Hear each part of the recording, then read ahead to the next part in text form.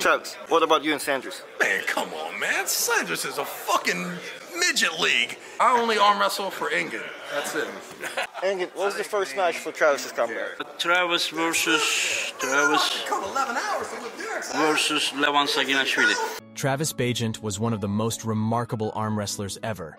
He had his confidence and his mindset just on point to deliver a show on the table. And not only that, Travis was considered by many to be the best left arm wrestler when he was at his peak. I don't actually know when Travis stopped competing, but I think we have seen the last of him on the table when he faced Sabin. Where in the match, Travis injured his pectoral muscle. And after that, I think he just went on a hiatus from the sport. But recently, Travis posted a video on his channel where he talks to Devon, and Devon is asked if he thinks Travis can come back to the sport, and Devon just says straight away he can't. And by what Travis said, it's noticeable that he understands that now the level of competition is too high up, and for him to catch up to that, well, it would take a lot of discipline and focus, which I think Travis isn't willing to commit. But honestly, if we stop to think about it, Travis is now healed from his pec injury from years ago.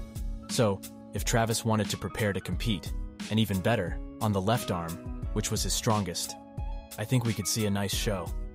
And let's not forget that Travis also throwed a hint, saying that he only arm wrestle for Engin. Do you guys think Travis can return to arm wrestling and be great again?